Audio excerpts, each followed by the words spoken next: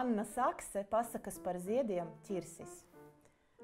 Dārznieka dēlēns ķirsis sēdēja varta staba galā un uzmanīja tēva dārzu, kad pēkšņi ieraudzīja tuvojamies ļauno ziemeļvēju. It kā uz visu pasauli noskaities, tas brāza, kokus lauzdāms un izbradādāms puķu dobes. Ko darīt? Kā nosargāt tēva dārzu? domāja ķirsis, un ātrumā cita nekā nevarēja, kā paņemt akmentiņu un iesviest ziemelim bārdā. Ak, tu man esi tāds palaidnis! Iekliedza ziemelis un sāka tvarstīt puiku. Ķirsis gan šur, gan tur, bet ziemelis visur uz pēdām un jau pastiepa ledāino roku, lai sagrābtu zenu aiz matiem. Kad šis ieraudzīja pēle salu un mudīgi, mudīgi ielīda tajā, ziemelis iekaucās aiz dusmām un piemīdīja salu, uzpūta tai savu augsto elpu. Ho, ho, ho! Tagad tu vairs sārā netiksi! Viņš gavilēja un aizjoņoja tālāk darīt savus posta darbus. Dārznieks skuma pēc sava mīļota dēla un raudāja žēles asaras. Kad tas krita uz dēla kapa vietas, tur sāka augt koks.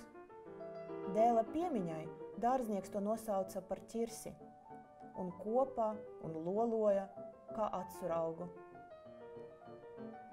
Pļapīgi zvirbuļi izšķīvināja pa visu pasauli, ka ķirsis esot tas pats dārznieka dēls.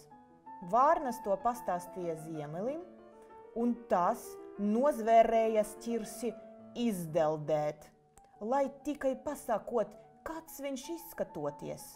Nu, tāds spēlēks esot, stāstīja Vārnas. Tāds pats, ka ķirsis, pelēkos svarciņos. Ziemelis atkal brāza uz dārzu, bet zilītes, noklausījušas pļapīgo vārnu nodevību, pavīdžināja cita citai ziņu, un tās, kas dzīvoja dārznieka tuvumā, viņam paklīdzināja, lai glābjot ķirsi no ziemeļā. Kā tad? Atskrēja ziemelis, izmeklēja spēlēko kociņu, nav tāda. Aizskrēja tālāk tiesāties ar vārnām. Kamēr nu tas izdībināja, ka ķirsis vairs nav pelēks, bet balts, kamēr padeve ziemelim ziņu, kamēr nu tas atskrēja, tikmēr arī zilītis nebija šņaudušas. Dārznieks mūdīgi norāva balto seģeni un uzklāja zaļu. Šņākdāms un aurodāms attauļoja ziemelis. Skatās, nav tāda balta kociņa. Pārskaitās uz vārnām un nosolījies tam kņabjus aizsaldēt, ja vēl mānīšoties. Un tomēr vārnas viņu atkal piemānīja. Pastāstīja gan, ka ķirses noesot zaļā terpā, bet dārznieks pa to laiku piešuva tam sarkanas podziņas. Rudenī dārznieks uzmeta ķirsim dzeltenu seģeni, ziemā atkal peleku un tā izglaba kociņu. Ķirsi, mans mīļotais dēls, tā dārznieks katru pavasari uzrunāja koku, un tas ar pumpuriem piebriedušu zariņu noglauda tēva grumbainu svaigus.